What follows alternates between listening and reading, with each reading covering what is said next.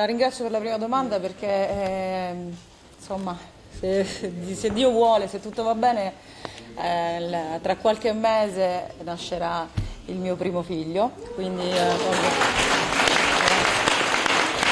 colgo, l'occasione per...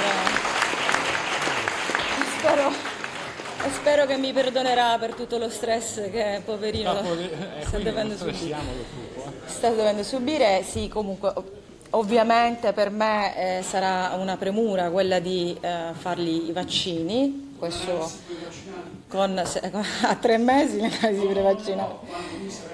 Quando lui sarà nato eh, farò i vaccini esattamente come tutti gli altri cittadini italiani che hanno vac- vaccinato il 96% dei bambini.